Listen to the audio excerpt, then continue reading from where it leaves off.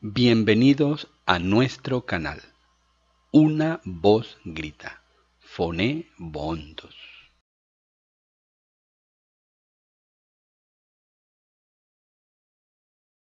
Domingo 19 del tiempo ordinario, que en su ciclo A proclama el Evangelio de Jesús caminando sobre las aguas. Está en el capítulo 14 de San Mateo. Bien podríamos decir que este episodio es la imagen de Jesús custodiando a su iglesia en medio de las dificultades, en medio de las tempestades. Voy a intentar desarrollarlo en tres, en tres puntos. En primer lugar, Jesús ora por su iglesia. Recordamos el episodio mientras que la barca se alejaba mar adentro del mar de Galilea, sacudida y zarandeada por las olas. Jesús, sorprendentemente, no había ido con los apóstoles, sino que había subido a lo alto de un monte donde estaba orando al Padre, haciendo oración a solas. Allí abajo la barca siendo sacudida por las olas y ahí arriba Jesús orando ante el Padre. Es una imagen muy ilustrativa de lo que hizo Jesús después de instituir la Eucaristía, la última cena, cuando pronuncia su discurso sacerdotal y allí Jesús ora diciendo, Padre, te ruego por ellos, por los que tú me has encomendado, por los que continuarán mi obra. Ellos viven en el mundo, pero líbralos del mal.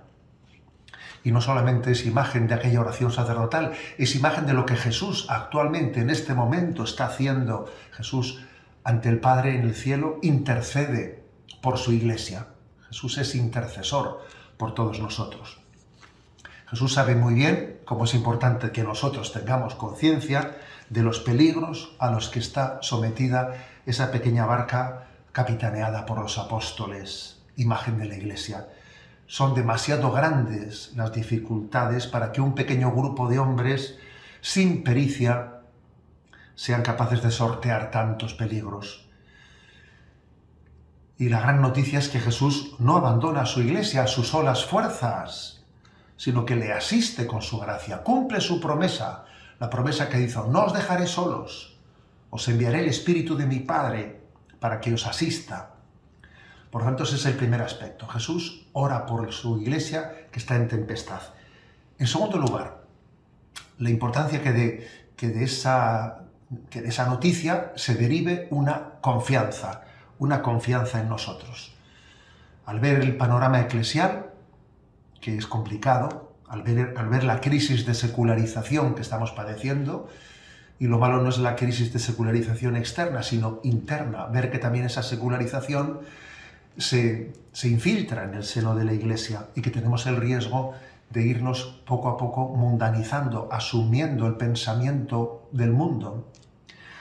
Claro, pues tenemos el riesgo de, de perder confianza, de sospechar que esta barca se hunde y sin embargo, hoy como entonces, Jesús nos vuelve a decir, cuando Él baja de la montaña y se pone a caminar sobre ese mar embravecido, camino de esa, de esa barca, ¿no?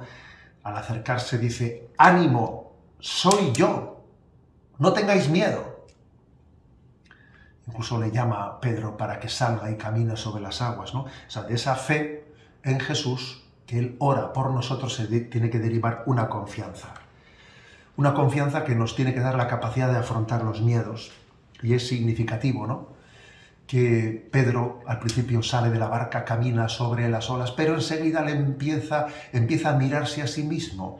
Entonces el gran peligro consiste en que nosotros nos miremos a nosotros mismos más que lo que miramos el rostro de Jesús. Y ahí es donde comienza nuestro hundimiento el pensar más en nuestras fuerzas que en la gracia, que en la gracia de Jesucristo. Y Él nos tiene que reprender una vez más y decir, hombre de poca fe, ¿por qué has dudado? Y en tercer lugar, estamos hablando de la confianza. Confianza porque Cristo se ha comprometido con su iglesia. Pero ojo, es una confianza que nos exige corresponsabilidad. No es una confianza pasiva. Bueno, la iglesia es de Jesús y entonces pues de brazos y no nos apuremos por nada. No, no, es, no es una confianza pasiva, es una confianza activa, performativa. Tenemos que ser conscientes del momento grave que vivimos. Jesús oró al Padre y también nos pidió, nos pide ahora, como lo hizo en Getsemaní, que orásemos con Él, que oremos con Él. ¿No habéis sido capaces de velar conmigo ni siquiera una hora? Velad y orad. Porque el maligno anda buscando, anda rondando, queriendo acabar con su iglesia. Jesús pide una oración de reparación, de reparación por los pecados de la iglesia. Pide que sostengamos en la iglesia con la oración y el sacrificio.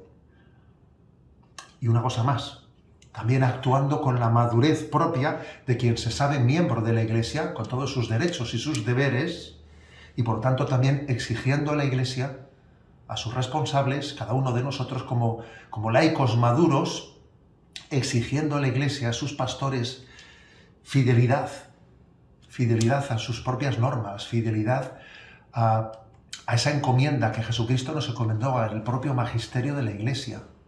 Por lo tanto, esta es la corresponsabilidad. Sí, confiamos, pero la confianza no es pasiva, es corresponsable. Por eso la oración, por eso el ayuno, el sacrificio, por eso nuestra implicación en la vida, implicación activa en la vida de la Iglesia, forman parte también de esa respuesta que damos al momento que vivimos en el que confiamos en que Jesús es esposo de su iglesia, se entrega por ella y no permitirá que perezca esa barca en medio de las tempestades. Gracias por elegir ver nuestros videos.